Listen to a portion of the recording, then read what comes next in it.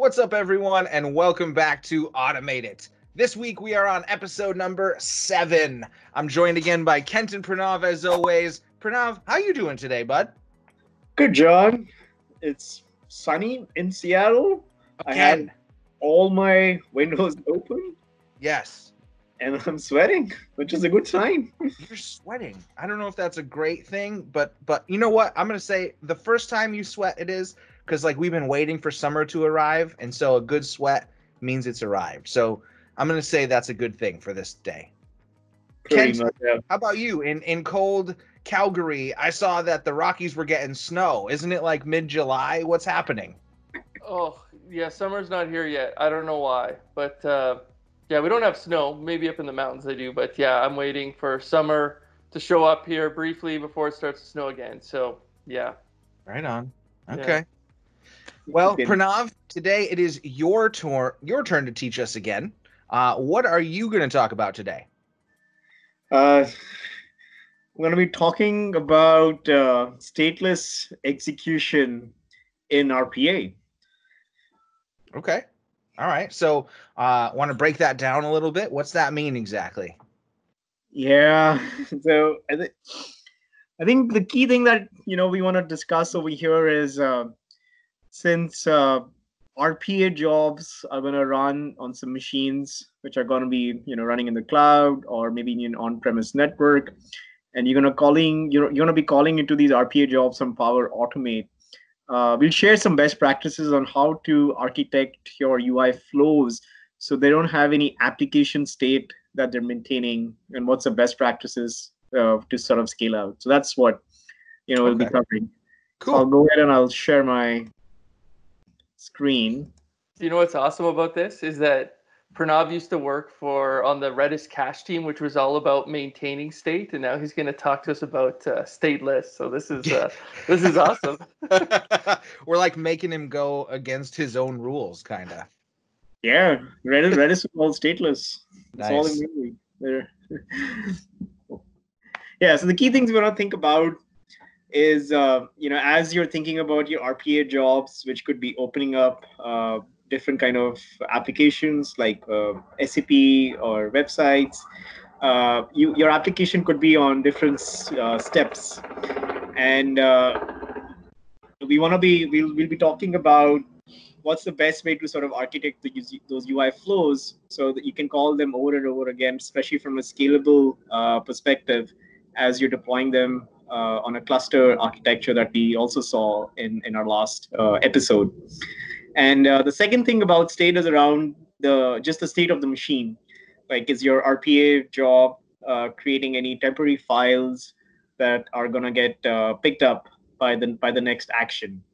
Uh, so that's effectively what you know state is all to be about so it's about your application state as to where you are in your application and then just the process state in terms of your overall process and if you're storing that state uh, in temporary files uh, locally on disk or, in, or an external state server as well and to look at this uh, stateless world you know we'll sort of look at this uh, example which is a customer example that we've anonymized. Uh, the scenario over here was uh, checking delivery status of each invoice. Uh, the the overall flow is kind of represented by this uh, like block diagram over here.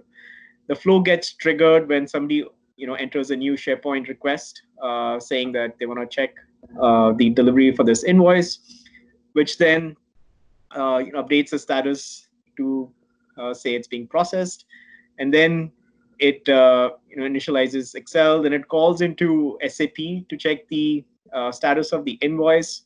So this is the UI flow that's gonna launch SAP and then check the invoice status, and then it's gonna drop in a PDF file, which then gets picked up by this second UI flow, which takes that file and then uh, you know calls into a UPS uh, API using the PowerShell extensibility that we saw in our earlier episodes, and then it returns result back into the flow, which then is picked up by a third API flow, which then you know puts the result into SharePoint itself. Now, if you think about this overall architecture, the flow, uh, the Power Automate flow is running in the cloud, whereas these UI flows are running on the machine locally. Uh, and especially when you're running it in unattended mode, what happens is each time you call the UI flow, it'll create a new user session. So that means that the application that was launched will be killed. Uh, and so your UI flow is going to run from the beginning. So in this case, I'm processing 40 invoices and I'm calling this UI flow 40 times. And as a best practice, what I've done in this UI flow is this UI flow starts all the way from recording the login step, you know, which we saw in our earlier episode, and then it looks up the invoice, and then it closes the app. That ways, this UI flow can run independently. And then if you want to scale this UI flow to run on a gateway cluster or a subcluster architecture that we saw in our previous episode, then you can run this UI flow independently of the other UI flows.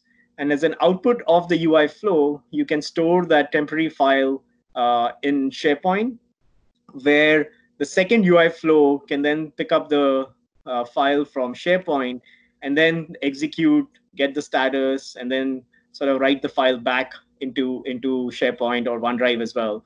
So this allows you to scale like UI flow number one independently. It can have its own subcluster architecture. UI flow number two can scale independently as well. And it can have its own uh, sort of a subcluster architecture as well. And it allows you to sort of have this state which is outside of the UI flow itself. And the, the UI flow is all about just executing the steps and then being done with the processing of it, where state is now sort of maintained externally from the system and it's not being dependent on you know a specific step or a specific activity it also is a clean separation of concerns where now your power automate flow runs in the cloud. It just calls into the ui flow to to do, the execution locally. All the results are you know the intermediate results or state is transferred back to the cloud and then the other ui flows can sort of pick it up. Where now you can scale this power automate uh, flow itself as well where you can sort of start playing around with the concurrency patterns and stuff to handle the load uh, from a incoming SharePoint request as well. So it gives you a lot of flexibility uh, in terms of you know architecting for scale when you remove the state aspect from your UI flows uh, uh, itself. So I know it's a very sort of uh, complex topic. So I'll just try to summarize by like, you know if you're looking for cloud scale, try to keep your UI flows as isolated as possible and try to have state which is external to the UI flows itself so they don't depend on that state being there and state can be stored in different ways. You know in this case it was a file being shared between locally and you know stored in sharepoint. You could also stay, uh, store your state like in an external database or, or something which is not tied to tied, tied to a ui flow itself. Uh, so key tips to remember is uh, ui flows by themselves are stateless. If you are running them in unattended mode, each execution of the UI flow will create a new user session. That means it'll kill off the previous user session, it'll kill off all the existing apps. So your UI flows should start from a clean slate and they should close the apps. Uh, do not take a dependency on the temporary files because if you're running on a clustered architecture which has uh, you know multiple VMs running, then your UI flow can be would be uh, distributed on one of the machines using the clustering load balancing uh, algorithm that we saw in one of our previous episodes. Uh, don't depend on the app state for each execution of the UI flow. That means that you know don't assume that your app will be on step five of ten each time you call this UI flow because it'll get reset each time you call uh, into unattended mode. And just as a best practice, your UI flow should start and, and stop. Uh, that means that from a clean state, you start your application, and when you're done, you close your application. So the next instance has a has a clean uh, clean space uh, to, to start with. so that's uh, you know stateless UI flows or stateless RPA uh, in Power Automate. Do you want to go back one slide, Pranav? Yeah. So I think like what's interesting here. So like in this case, I would imagine the business process required to have this process serially. But like in situations where you could take advantage of like concurrent processing, you could have like a parallel processing branch and then use this stateless strategy to really improve the performance of your application of your whole overall solution because you would essentially be kicking off multiple RPA or UI flows and then being able to sort of do the scatter gather type pattern of bringing everything back in at the end um, if the business process allowed, wouldn't it? Yeah, exactly. And it, it gives you very sort of uh, fine granular details uh, in terms of scaling out. You could also, let's say if you're looping over here, then you can have sort of different concurrency levers that you can play, which will only apply to this specific UI flow.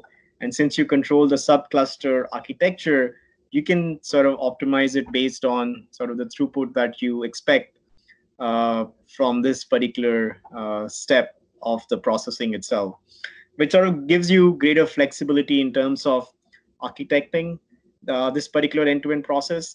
And this is one of the things you probably want to think about upfront before you start uh, recording your RPA scripts, uh, because it's important to record them in a way where it allows you to get the scale from a cloud perspective to meet the ROIs that have been defined for the business. Like last thing you want is like you've recorded this very complex application, you know, it takes about 100 steps and you sort of integrate into Power Automate and then suddenly you realize there is a bottleneck where now you have to redo your entire uh, UI flow or your RPA's job and it's going to take you a lot of time to sort of re-record your scripts so it's just a best practice to think about uh, this overall stateless nature of UI flows up front uh, and see how you want to uh, think about structuring uh, the state depending on what your cluster architecture is going to be uh, as well.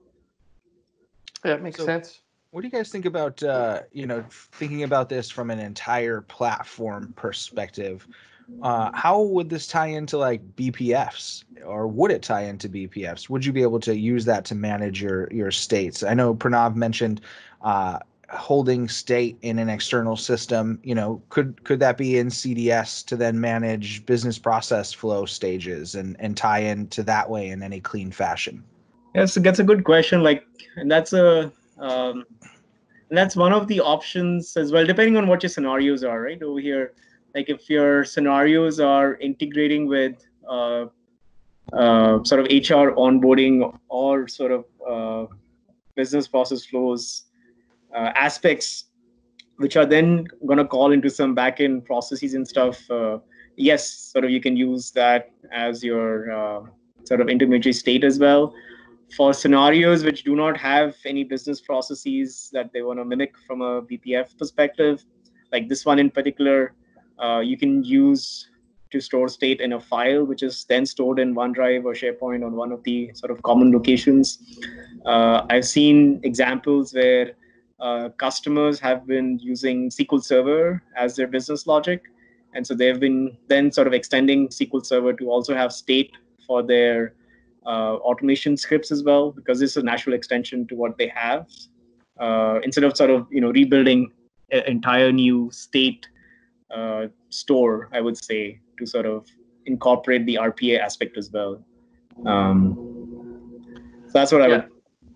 Yeah, I would say like it's actually interesting. I think we should cover that in an upcoming video. Is like this uh, using BPFs with RPA, and I think probably where you've got like humans involved, I think BP BPFs make a lot of sense to like persist some of that state, and then when you need to go out and reach out and do some UI automation, then be able to kick off a UI flow to go ahead and fulfill that and then come back. Like I think an onboarding scenario could be a great one, right? Where you might have like benefits enrollment as part of it. You might have like system access as one. You might have some sort of like code of conduct that a person needs to sign. Like and so there an enrollment in other programs as well. And that might be a situation where it truly is staged and like every stage has a series of milestones. And some of those milestones might involve kicking off an RPA process in order to complete and then you transition it over to like the next area because maybe like they need to then execute a set of uh, activities within within that stage. So yeah, that's that's interesting. I think we should tackle that uh, in an upcoming episode.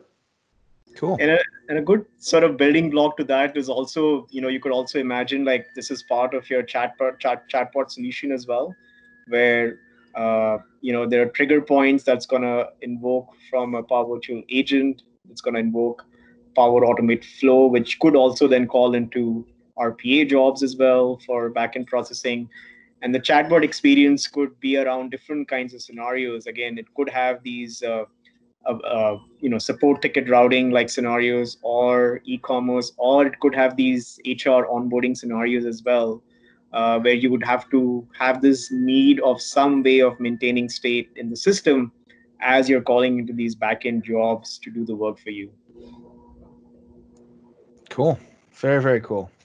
Awesome. We'll have to talk about chatbots too sometime.